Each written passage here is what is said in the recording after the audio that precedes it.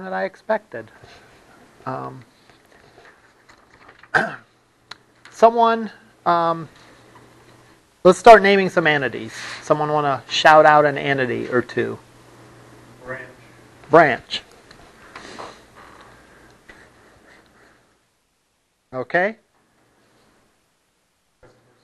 Customers.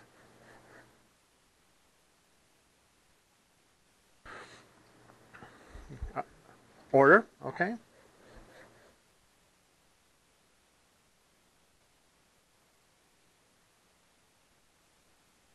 Okay.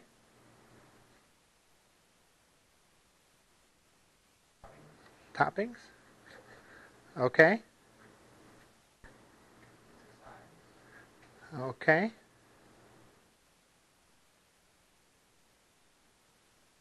Crust, okay. Anything else? Okay. We'll call that order type. The delivery method, order type, any of those would be good terms for it. Other entities.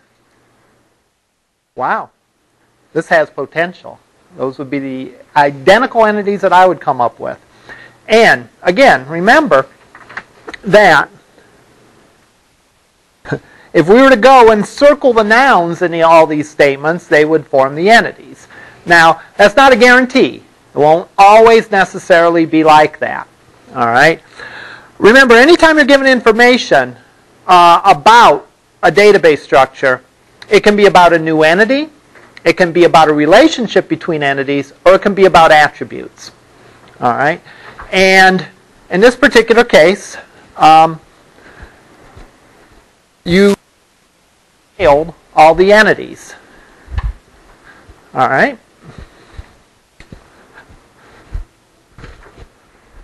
Relationships between these entities. Someone yell some of these out.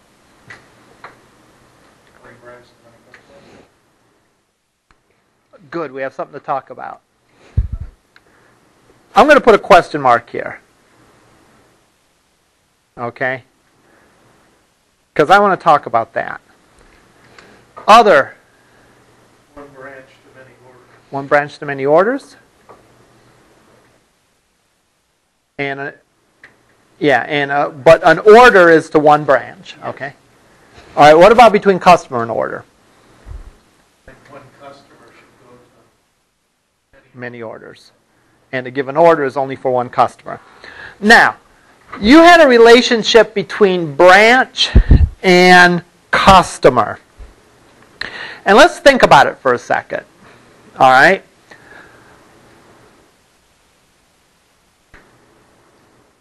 Okay, we thought about it. Let's think about it for a second. How do we know if a person, if a customer, has a relationship with a branch? If they ordered from there before, right? In other words, yeah, I may have my two or three favorite branches of Marco's Pizza, right? Maybe, um, maybe, um, you know, one uh, that's close to my home, maybe one that's close to where I work, all right? Or maybe, you know, over a friend's house, you know, that I've ordered, or whatever, all right? But the point is, is it's not unless I've ordered from that branch, you wouldn't say I have a relationship to them, really. All right? The relationship to a branch is based on the order. And therefore, if I wanted to know all the branches to, to send coupons to me, well, I would look at the orders and send coupons that way. If, let's say, a particular branch was having a special on something, how would they know who their customers were? By looking back at the orders. So therefore, I would sort of call that like a derivable relationship. Yeah, in, in, in human conversation, you can say, hey, that's my Marcos branch, all right?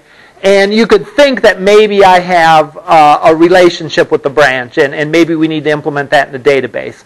But in reality, it's probably more true that really the branches you have a relationship with are the ones that you've ordered with. So you probably don't need to implement that.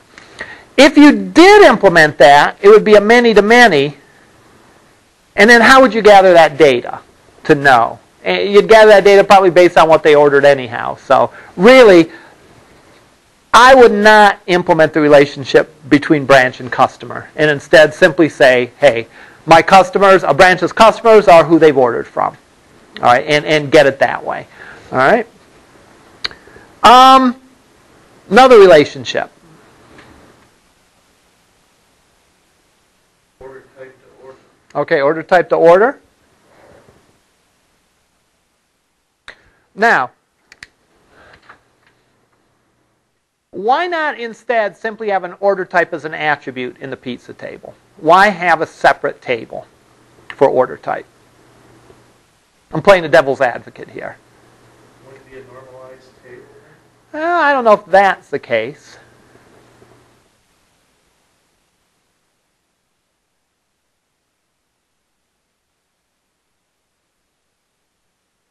Here, if we expanded that Okay, that's true. That's true. Okay. Really, the reason that we create a foreign key here and create a table is really because we want to be sure that we're consistent about defining what the order types are. If it was just a plain text field in the order table, then someone could type in pickup as one word. Someone could type in pickup as pick space up. Someone could type in uh, pickup as pick dash up. Someone could put in delivery. Someone could abbreviate it with a D, you know, for delivery, and so on. If it was just an attribute of the order table, then there'd be no guarantee that we had any level of consistency between how the data was entered. And therefore, if we wanted to do any sort of analysis on our orders, you know, try to determine how many pickups versus deliveries, all right, that would be difficult to do. If instead we define a table that contains the list of allowable order types and create a foreign key there, they can only pick the two things that we put in there. And as was stated, if that later expands to add for dine in or special express delivery, pay two bucks more and we'll get it to you within, you know, before the commercial's over or whatever, all right, then we would simply add those to the, the, the order type file. Now, some students, when, um, when um, posed with this problem, have said, why not just have a yes or no question? A Boolean, it's called, to say delivery, yes or no. All right? That's not a half bad answer, but it doesn't allow for the expansion. All right? If you were sure that it was always a yes or no question, then that's fine. But by throwing in the possibility that we could be doing dine in at some point, it won't always be a yes or no question. All right? Because then it'll be delivery, yes, delivery, no, because pickup, delivery, no, because it's dine in. All right. So you're going to see a lot of little tables like this in almost any database. Sometimes they're called code tables. And really, the same thing is true for crust, crust, and size. Right? We could make simply an attribute in the pizza table for crust and for size, but then people could type in anything. You know, could type in thin, thick, traditional, and you might not know uh, you wouldn't have any level of consistency with that. All right, other relationships in this.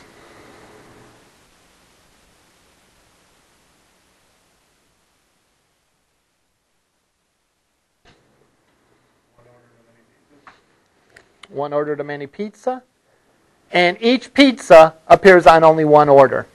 Now, one thing you guys did, and again, it's correct, but you set up that pizza table to contain specific pizzas that one person orders. In other words, you don't have in there sort of a generic list of all the pizzas that people could order, like pepperoni pizza or whatever. Why? Because there's simply too many combinations. You can't do that. If this was like a Pizza Hut Express where there was only two or three items that you could have, you could have a table for each of the three items and then um, say that the order has that. But you're right. Each one of these pizzas is the pizza that someone specifically ordered that pizza. And there's far too many combinations between toppings and crusts and, and uh, size for you to sort of define those pizzas in advance and have this sort of the generic pizza available table. All right. Um, that does point out, though, uh, other class in the past have taken that approach or have tried to take that approach. Um, that is important to make sure that you've defined your terms and define that in this case, when we're talking about pizza, we mean one pizza that someone specifically orders as opposed to like a generic type of pizza, like a thin crust pepperoni that many people could be ordering. You know, only one person can order a pizza in this scenario. A pizza can only be on one order. You're not going to take the pizza, deliver it to me, take that same pizza, deliver it to someone else. Yes? I a to many though, you said one order could have multiple pizzas. Yes. So it's not, it's a one to many, not many. Well, one order can have many pizzas. A given pizza is going to be on how how many orders? Only one. So it's a one to many. It would become a many to many if instead of sort of like a make your own pizza where you say all the toppings and all the, your choices, if there was in here say a product table. And the product table had, you know, product one was a small pepperoni pizza. Maybe you've seen like at the zoo, uh, they have the Pizza Hut Express where you can only get like two or three things, you know, and they can uh, they define those in advance. Um, small supreme. If that was the case, then this small pepperoni isn't the small pepperoni that I specifically asked for. It's just the fact that they have small pepperoni pizzas available here. Then this would be a many to many relationship. Because then I could place an order for a small pepperoni, and you could place an order for a small pepperoni. So if we're defining pizza as a generic pizza, all right, that many people can order one like it, then you're right, it would be a many to many. However, in this case, I think it more, makes more sense to define this as a specific pizza that someone ordered because I can't easily come up with this list of products that are available, right? Um, because if you consider all the toppings that are available and the crust options and the size options, there's a lot of different options that you could have. So in that case, this is going to represent the individual pizza that I ordered, and it's unique. It's made just for me, and therefore, um, then, I, I don't see how one order could have many pizzas though. What would be the field? Order table that points to the pizza. all the way around. Remember that the many side points to the one side. So I could call an order a pepperoni and a cheese pizza. I order two pizzas. And let's say my order number is order number one, two, three. Then there'd be a pizza that was, you know, large, pepperoni, whatever, that would have an order number of one, two, and three. And then the second pizza would also have an order number of one, two, three. It would be nowhere in the order table. No. No, there'd be no pizzas in the order table. What would be in the order table then? Well, the things that were distinct about the order. In other words, what branch it was placed at, all right, um, what customer it's for, maybe the time that the, the order was placed, the day and time that it was placed, what the delivery type was for it.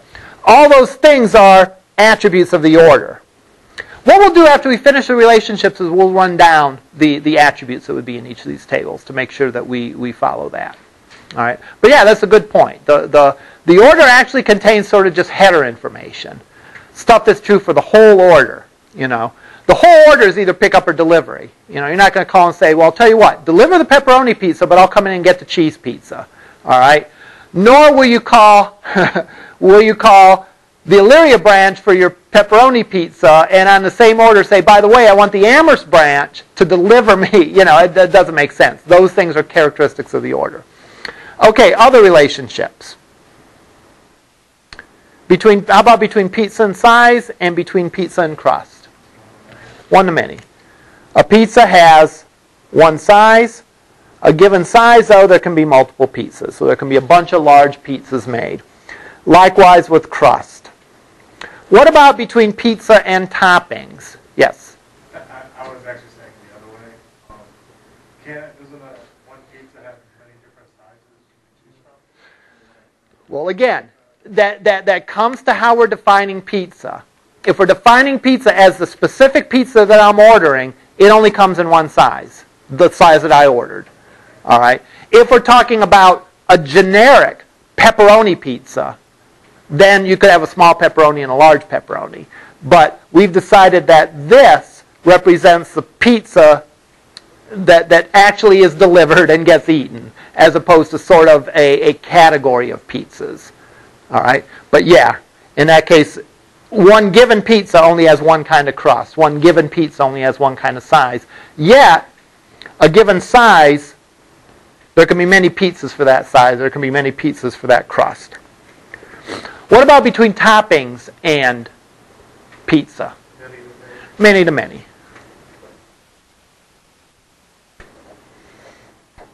And this is where we match up what pizzas has what toppings. So, let's run down the. Yeah, go ahead. All right, if, uh, if we're ordering a a specific pizza that we're going to have delivered and eat, why is that different for the topping? Aren't you choosing this topping you want? Well, the difference is, is I can only choose one crust, Right. but I can choose multiple toppings. Right? In other words, let's let's look at let's let's uh, look at what's in uh, these three tables to start out with. The pizza table will have a pizza ID number. All right. It will have some other attributes. We'll skip those for now. All right. One of the th- one of the attributes that we'll have is it'll have the order number that it belongs to, or the order ID. It'll have the crust ID, the ID of the crust that it has. It'll have the ID of the size that it has. All right. In this table, in the toppings table, will be the topping ID and the, the name of the topping. So, the first row in the topping table might be row 1 with a topping ID of 1 might be pepperoni. Topping ID 2 might be mushrooms. Topping ID 3 might be sausage. So if I call and I order a pizza and I say I want a pizza with pepperoni and sausage on it, all right, let's say my pizza ID is 123 and I have my order numbers in there and I have my si- uh, crust and size number in there. In the topping pizza table, it will say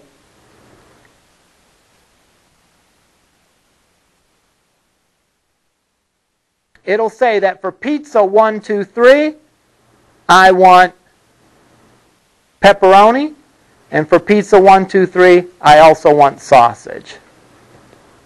So we'll have the pizza ID and the topping ID. All right. So the topping ID has a list of all the toppings that are available in my store. The pizza ID, the pizza table has the pizzas that people are ordering and they're getting delivered or picking up. All right. The topping pizza table, what that does is that matches them up.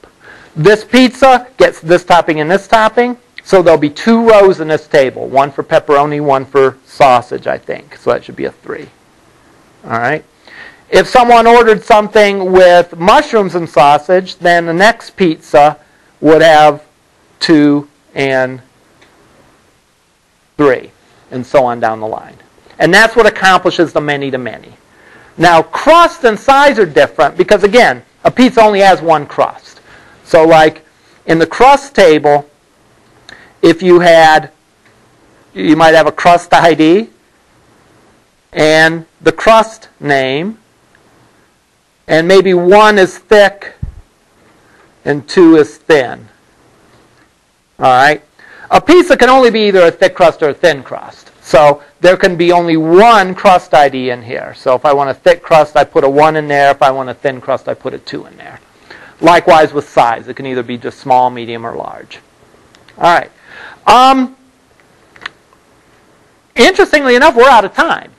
All right. Um, can we spend maybe three more minutes writing down tables and attributes? Does anyone mind? Yeah, let's go and do that just to have some kind of completion, and then maybe uh, we'll, we'll look at an access uh, next time. So let's draw up our, our tables. The branch table, again, we'll have a branch ID. We'll probably have the branch name.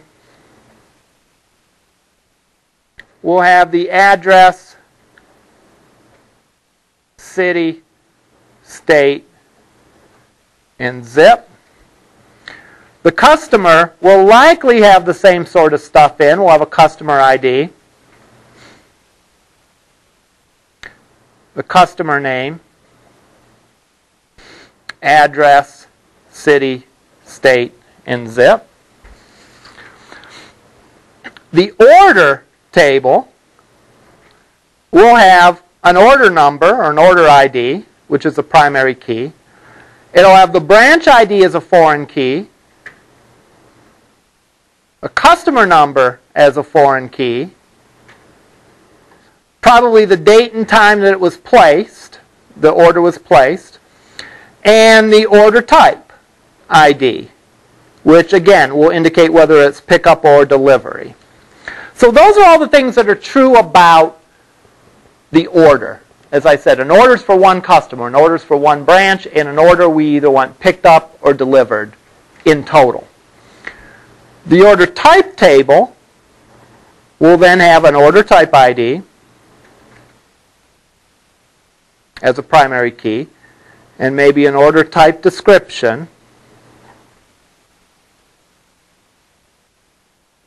Then the other ones we sort of had, but just to write them on the same sheet, our pizza table will have a pizza ID, primary key.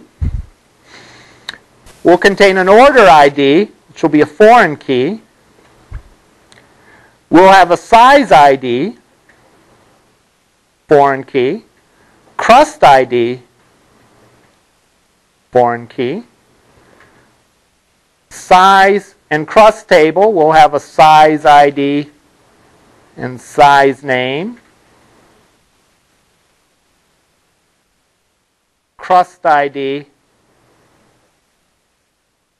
and crust name. Finally, we'll have a topping table that will have a topping ID and a topping name. And lastly, we will have the pizza topping table that will have the pizza ID and the topping ID together being the, the primary key. And also each of these will be foreign keys to the respective table. So that's, in a nutshell, the database that we have. Again, a few things to uh, uh, review from this. One of the points is, again, when you're talking about even words that are common, make sure you understand what they mean. In other words, pizza being an individual pizza or pizza being a kind of pizza that can be ordered. That's significant because that will affect the relationship uh, of how you do it. So make sure, even if they're understandable terms, make sure it's clearly identified what it is. Because if we're talking about an individual pizza, yeah, then it's associated with an order. If we're talking about a category of pizza, then no, it's not associated with an order. If you had both, like a Hawaiian pizza and then a pizza you could make yourself, would it be a whole separate table? Oh, that's a good question. What if you had what if you had something like a Hawaiian pizza that came with a predefined set of toppings. And then in addition, you could order piecemeal and say, I want this topping, this topping. What would you do? What would you do? I would probably cheat in that case And I would probably define a topping that was really a that really was like the Hawaiian topping that really consists of a couple other toppings. The purist on a database level would say that that's probably not a good idea because you're sort of lying because Hawaiian isn't a topping. you know, pineapple's a topping, ham's a topping, but pine. I guess you could make a topping and call it pineapple and ham. It's a group of toppings. Yeah, uh, I would probably cheat and, and make that combination of toppings look as though it was a topping and do it that way. Just call it Hawaiian topping? Uh, Hawaiian topping, yeah. Because conceivably someone could say, I want a Hawaiian topping with uh, bacon on it too. You know, I guess. You know. But that's, that's a good question. Or, you know, I know some places like have like the meat lovers pizza. You know, that would be uh, another possibility. I guess what you could do if you're doing that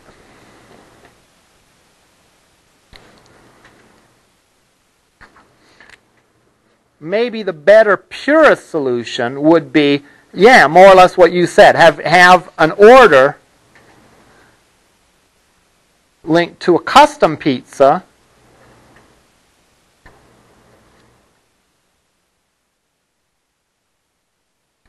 and then have what would we call this? A, a pre-defined pizza. Yeah, specialty pizza.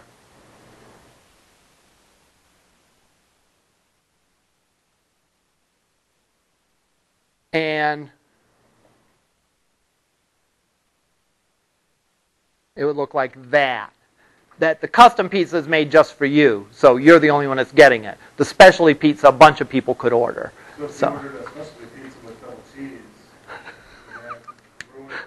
Is that Uh, order meat lovers with double cheese? Oh man, uh, wow, that's a good one. The question is, what if you wanted a specialty pizza with uh, extra toppings beyond the? In other words, you want to use the specialty pizza as the base and then add toppings on. I think then we're back to maybe the better solution would be just call meat lovers a topping, even though it's actually a combination of toppings. So. uh, design databases is tricky, and it's always these. We call these edge cases. You know, the the the average sort of thing of uh, I'm calling in and ordering a pepperoni pizza. Yeah, we can design a database to do that. But when you start throwing in all these weird exceptional cases, or you know, uh, you know, I want a pizza without sauce on it, you know, or something goofy like that. You know, what do you what do you do? Uh, I guess at some point you have to identify how relevant it is to track that data. Could you handle something like that via special instructions, for example, to say, hey, don't put any sauce on this, or light on the sauce, or whatever? You know, remember your database is a model. A model doesn't have to capture everything about the real situation. It just has to capture what's relevant for whatever purpose you're ha- you're having. We'll talk about a little bit more about this uh, next Tuesday, and we will also um, talk about review for the midterm. And the one thing I do want to be sure we talk about is talk about how an organization might use this data. All right? Yeah, we're, we're keeping track of it so the chef knows how many pizzas to make, and so the delivery guy knows need, knows where to deliver. But could they use it for more than that? Exactly. How many toppings to order? Sending coupons out? I swear, every Friday I get an email from Marcos, like a good friend. I, I hear from Marcos more than I hear from some of my closest friends, all right, saying, yeah, have you thought about dinner today? you know, we're running a nice little special on. And, you know, there's probably a good chance that they've looked at my order history and come up with a coupon that's based on what I typically order. And I don't know if they just send those out every Friday to everyone, but, you know, Friday is traditionally pizza day in our household, so I don't know. Maybe if you ate pizza on Monday, you get your email on Monday. I don't know. But it's just interesting to see how you can have a database for one problem, but if you developed it correctly, you can extend that and apply that to, to other aspects of your business. So let's at least touch on that uh, on Monday, or not Monday, Tuesday again. All right, we'll see you over in lab.